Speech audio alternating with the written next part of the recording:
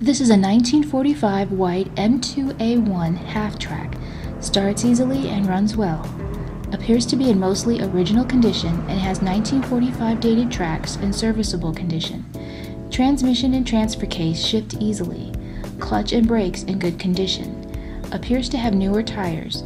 Has an electric start, no ignition key, no hour meter.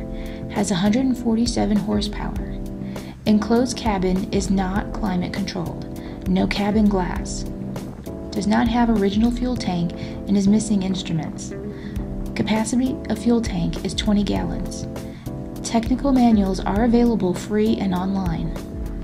This half track is nearly rust free underneath and considered to be in remarkably good condition for its age. This item can be registered to drive on the road and spare parts are available. Please contact Doug with any questions at 530 333 3399. Preview is available Monday through Thursday from 8 a.m. to 3 p.m. Buyer must load. This site does not have loading dock or ramps. Low boy preferred.